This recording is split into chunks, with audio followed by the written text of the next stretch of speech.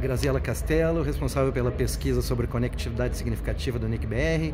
Graziela, ah, um número que chama atenção é, claro, o percentual muito baixo de brasileiros que têm efetivamente ah, uma conectividade minimamente significativa.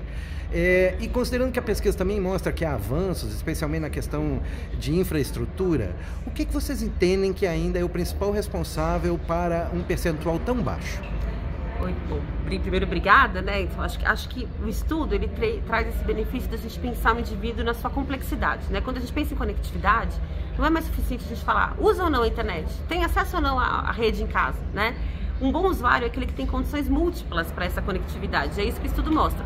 Quando a gente pensa no custo que ele precisa despender para ter um bom equipamento, nos dispositivos que ele tem acesso, no tipo de uso que ele faz da internet, na qualidade da conexão que ele tem acesso, a gente percebe que a conectividade é muito precária no Brasil. E aí só 22% é, conseguem atingir quesitos mínimos para essa conectividade, né?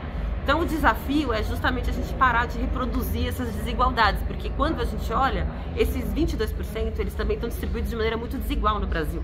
De novo, né, quem são os mais penalizados? Mulheres, população da área rural, das regiões norte e nordeste, das classes CDE, os poucos escolarizados, né, aqueles que poderiam se beneficiar das tecnologias como um fator disruptivo para o seu desenvolvimento, né, dado uma estrutura desigual que a gente tem aqui no país permanente, é, eles de novo estão sendo penalizados. Então vão ser deixados para trás nessa corrida e é importante que a gente preste atenção, pare e também complexifique nosso olhar fundamentalmente essa provocação que a gente faz para pensar a conectividade de uma maneira mais ampla, né, que permita com que as pessoas de fato é, se beneficiem das oportunidades dadas pela rede. Né? Não, o simples acesso não permite isso.